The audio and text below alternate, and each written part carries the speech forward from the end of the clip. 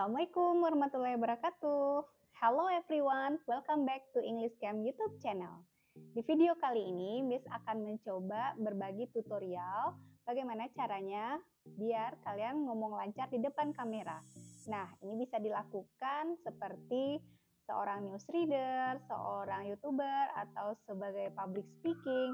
Pasti kalian mengalami problem kan ketika berbicara di depan kamera Nah, kali ini ada tips dan triknya bagaimana supaya kita bisa lancar ngomong di depan kamera.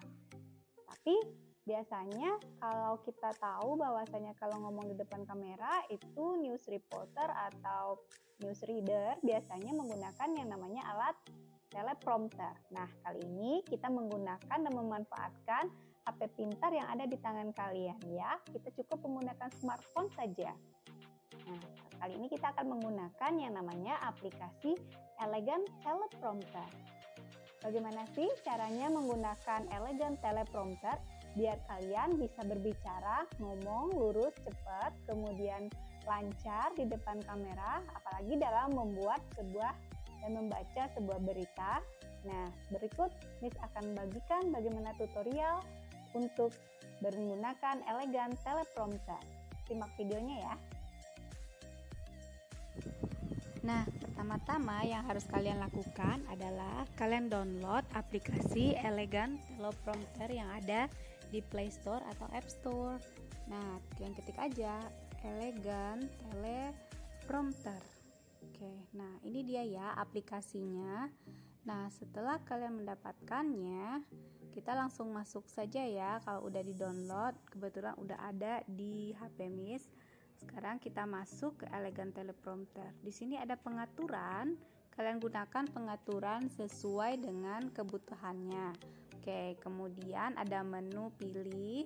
Kalian pilih script yang akan kalian baca atau di sini juga di pengaturan ada juga pilih semua kalau terdiri dari beberapa script.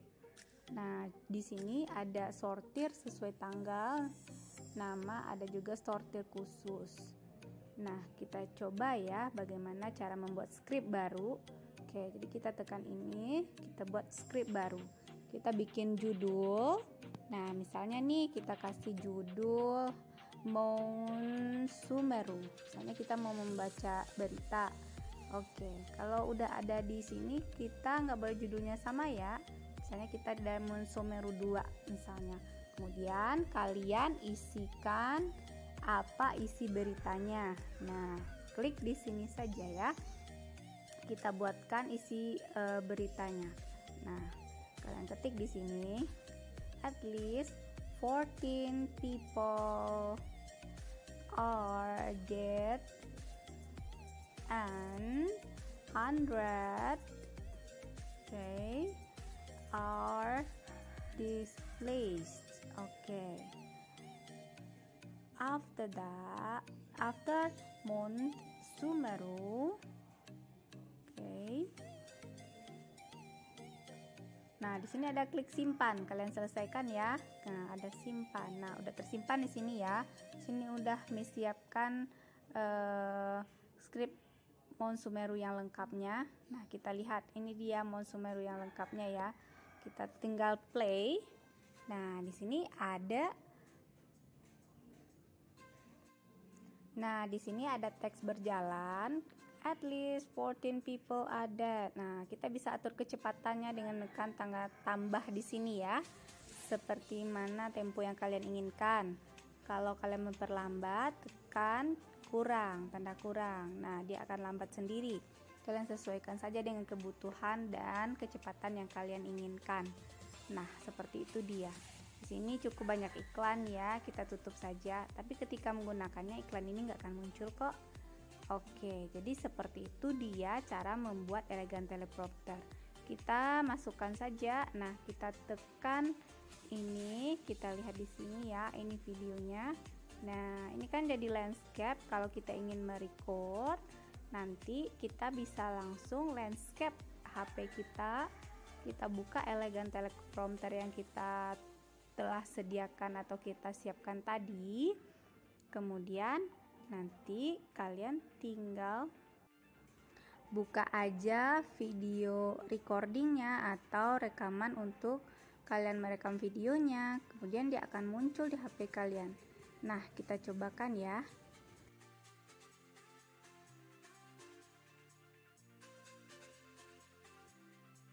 Good afternoon ladies and gentlemen At least 14 people are dead and hundreds are displaced after Mount Sumeru a volcano in Indonesian East Java province erupted on Saturday, authorities said. Indonesian National Board for Disaster Management, or it's called as a BNPB, said in a statement Sunday the eruption had wounded 56 others, with 35 people in serious condition. After it recovered village with the ash and allowed people to run from the lowering clouds and of debris. Five of the victims have yet to be identified and nine people are still missing. The BNPB said some 1,300 people have been displaced by the eruption and reached evacuation centers it aided. Okay, thank you. Nah, gampang kan cara menggunakannya? Kita nggak perlu membeli yang namanya teleprompter mahal-mahal. Kita cukup gunakan smartphone yang ada di handphone kita. Jadi kalian bisa ngomong di depan kamera. Nggak perlu khawatir lagi dalam bikin tugas ataupun melakukan kegiatan yang berhubungan dengan public speaking yang berada di depan kamera. Semoga bermanfaat. Assalamualaikum warahmatullahi wabarakatuh.